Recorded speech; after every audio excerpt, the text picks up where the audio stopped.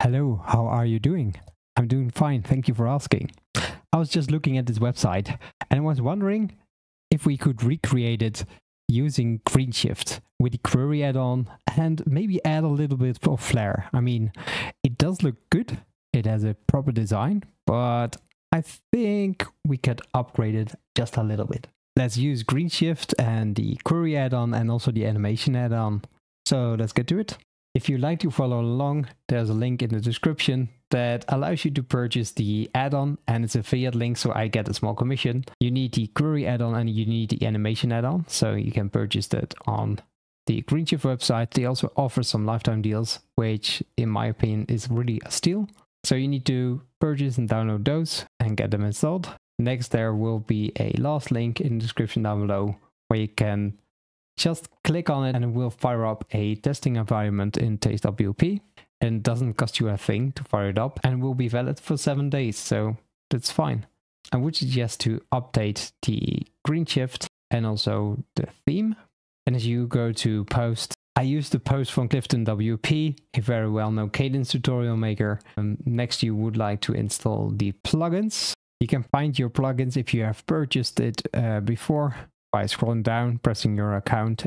And here are your downloads. We need to have the query and the GSAP one. Once you have downloaded the zip files, then we go back to our plugins and we add a new plugin. We upload our plugins, the GSAP, activate, and then we add the other one as well a query add-on and activate the plugin as well. Then you have to install your license. So you go to settings and then license manager and then paste in your license and hit activate now you are all good to go. Now that we have activated our license, I also like to set some other settings that makes our lives just a little bit easier using GreenShift. So let's do that next. We go into our global settings in our interface. I always like to show only element blocks. The element blocks are the blocks without any extra wrappers. So GreenShift has made it as clean as possible. I also would like to change the default value and we set to rem and then we hit save. This makes our lives very easy. Later in this video, you will see why. Also, I would like to create a style book already and let's dismiss this one. And then in our variables, I just press restore. And what this does is restore all the variables that GreenShift actually has in here already by default. I think that's a very nice solution. And then we hit save and uh, we're ready to go. So let's go to pages and add a new page. So now let's take a look at the website we're about to recreate.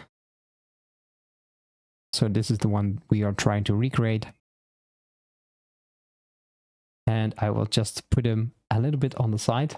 And in here, I would like to add a H1. What we can do is click the plus sign, but if possible, I like to use my keyboard only. So you can press forward slash and there we have the overview of all the things you would like to use. So press enter and this will add the block element of heading. We type in your briefing and to get another block in, you press Control Alt Y and there will be another block section for you. So we press forward slash again and we use metagetter. And for the metagetter, I would like to add site data, the date of today. And there's the date of today also like to the, have the typography a little bit smaller. We can use the variables that GreenShift now has added for us and we can select the size of small. Then we add a container. So we press forward slash container and there's the div container. And in here we will add another heading but this time it must be a tag of h2 so we can switch that up real quick. And we says make it say stop stories in here we add another div container. And within the div container we would like to have two query loops. So we will add one and duplicate that one. And now let's set up the first query loop. And the first query loop needs to have just one grid. Uh, it doesn't need any gap so we can remove that one for the data settings. We only want to fetch one because this will only show one item and for the next one, something similar. We will also would like to have one grid column, perhaps a list. And in the data settings, we would like to have five items. So now this is a little bit set up. Now we would like to offset it a little bit because we don't need the first story. So in offset, you press one and it will skip the first story and just continue on the rest. So let's continue on the design. Now that we have everything in, so let's click on our parent container and we add a class. And the class will be called story and we add it as a global class. And we click on story.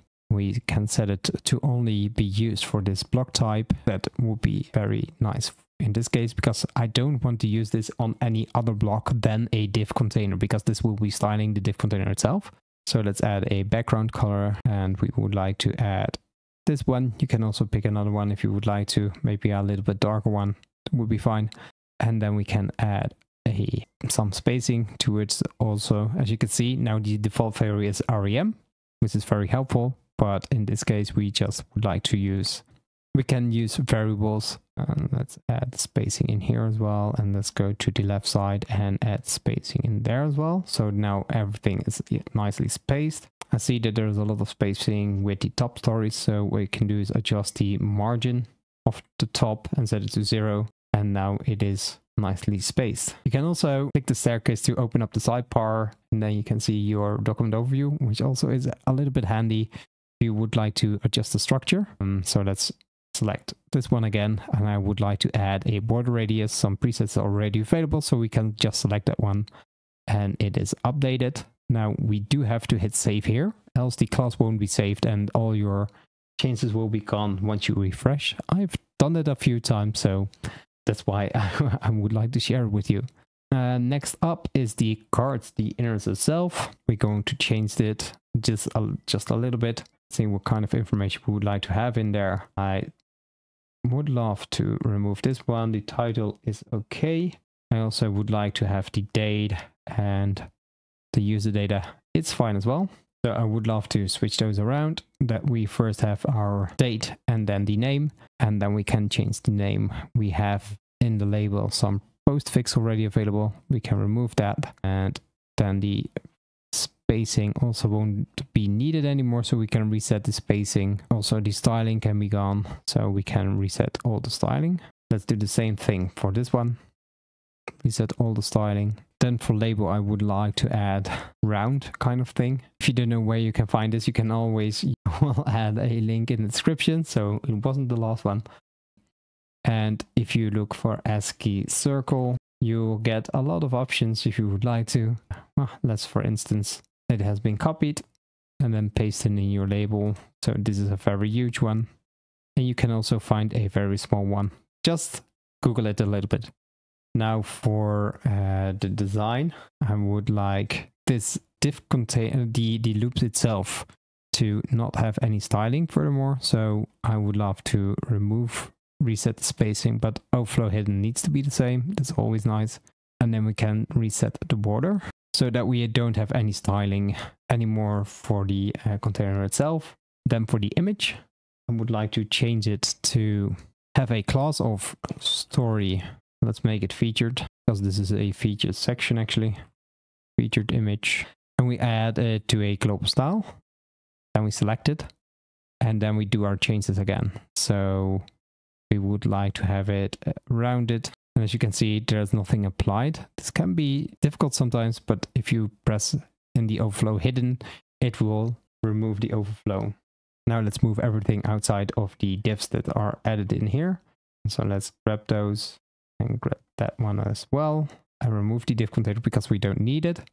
And then you can just style the title. So in here we add a story featured title and we add it as a global class. Now what we do forget with the story featured image is to save it and because I don't want to use it anywhere else than on images I will just save it globally only for this style block.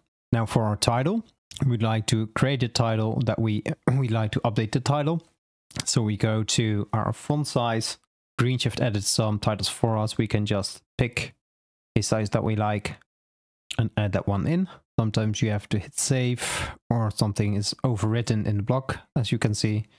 So we can just hit reset options, also reset the spacing, and then we can change the sizing according to our wishes. So I think this looks good. would like to remove the spacing to the top and bottom as well because we're going to do the spacing on a other section. And uh, for the fonts, I would love to remove the decoration. So no decoration. That means the underline is now gone. Lastly, let's start those two. So we can add another section. We add story dash featured dash and we set it as a global class. We add it, we select it, make it only available for the textiles. And within typography, we'll set the font size to very small, maybe even smaller than this one. Yeah, this looks okay. And then do the same thing for this one, but because we already have it, we can just reuse it, so that's nice. I forgot to save it. If you forgot to save it, you need to make it again. And now we save it and it's fine. I see that there's still a need of a little bit spacing between the, the date and the dot. So let's add that one. We go to value spacing and add some spacing on the right. And we can use the default one. Ooh, this is very big. This is still too big. This can work. And now let's add some gap for those sections. So we go downwards a little bit, go to flexible content and here press flex uh, flex but now it's from side to side but we would like to uh, have it from top to bottom. And let's add a row gap of 1 em and now it's nicely spaced. So we're done and now we are finished with the first section. And if you ask me it looks a little bit like this. It's not done yet but eh, it, it's in there. And then we add a new class column 2 we add a global class then we change the flex align to go from left to right. And we add a little bit of column gap. So there's a little bit of spacing breathing room between those two sections. Let's adjust the other query loop add-on. We know that there are some settings already set, so we can reset those real easy so that we have a more clean slate to work with. Next, let's change the query add-on loop itself. We uh, forgot one thing. We need to go to flex content, put in flex so that goes from left to right. And then let's remove some things that we don't need. We don't want this one. Let's do that real quick. Let's also reset the typography in the loop and also the spacing in the loop because I just don't like the default settings. And I would like to use classes to create those. So we go to block, add a new class, story title, and then we go to global classes. And in here we can change these settings. I also would like to only use this one for the text element. So let's change the size first. Uh, let's create, make it small, maybe a little bit bigger. That looks nice. And remove the underline. I also would like, I see that there's still some setting. So let's reset the spacing for this one because I don't like it. So the story title is now fine. Let's add this little section. So we change those two up. There we go and, and then we need to reset the default settings again. So to value, reset, and to background, reset. And also for this one, we want to remove the post label and reset any setting that is set right now. And for this one, we can use the same setting. So probably we can re rename this because this is all for the tiny text. So we can rename the class to story uh, meta or something similar and we can hit save. So now the, the classes are all renamed and we can reuse it in here as well. Let's hit save. Now I see that we lost some styling, so let's refresh. I don't know why it suddenly loses its styling, but it's back now again. Uh, except for this one. This, this one's still too big. Uh, but yeah, let's keep it as is. And let's copy the round kind of thing, the circle, and done. And we go to our labels, postfix, and add that in there. And we will add some value spacing again. So there's a little bit of spacing there that looks fine. Now I would like to adjust the image. So let's add a story dash image in here. Although I would like to use the class, it doesn't work properly, uh, at least for now. So I reset those two, the image is shown an aspect ratio of 1 to 1. And if we can, and when you uh, reset this one to be auto, then go to your story and then you change the width. For example, you want it to be 5 width and use an aspect ratio of 1 to 1. You can see that the image itself isn't changing and that's what I dislike. So let's reset this one quickly and go into our settings in here. So we add the aspect ratio of 1 over 1 and for the size something like 4 5 pixels that will cover it. And for the border we click on this one and there's a nice border in there. Then we select our query loop and I would like to have some spacing between those two. So let's add those spacing into the column gap and then we can set an extra small spacing that looks pretty. And perhaps the spacing between those two is a little bit big between the title and the metadata data. So we can uh, manually set a value instead of a var to it looks a little bit better. And then we can scale down our image as well. Just a tiny bit, 4.1. Yeah, that looks okay. But there needs a little bit more spacing between all the items on the right hand side. So let's add them real quick. We want to do that in the first section, so the grid settings. And let's set it to something like this, as maybe a little bit smaller would also work. Yes, that will work amazing. Then we hit update and let's see what we have in the front end. And there we go, we have our query add-on and it looks amazing if you ask me. Now it would be nice if we can just level up a little bit, give it a little bit more spice than we have right now. So let's do that real quick with the animation add-on. So let's get to it. So we go back to our editor and select the first one. And then we go to the advanced tab. There we can add animations. So we enable advanced animations. And let's put in just a tiny little shift from left. That looks amazing. And we want to start it with zero opacity. So you get this effect. Now we can just move it just a little bit less. And that looks good if you ask me. And then we add an animation to this list as well. We enable animation. I would love the animations that we have in here to be a similar kind of shift. So just a tiny bit. And I want to be delayed because after this animation is done, I want this list to be to appear. So we add a tiny delay of 500 milliseconds.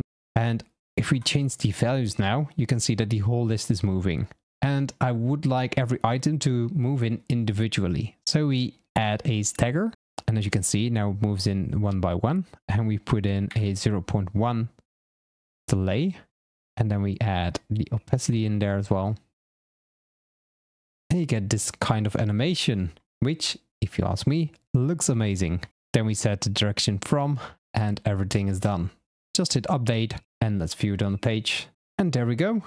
Our query add-on with the animation add-on is now full in use. Now that we have spiced up our query add-on, there's a lot of other things you can do as well with green shifts. So watch this playlist next if you would like to see other things related to GreenShift. And if you like this kind of videos, don't forget to hit the subscribe button and press like to let me know that you like this video. And see you on the next one. Keep designing.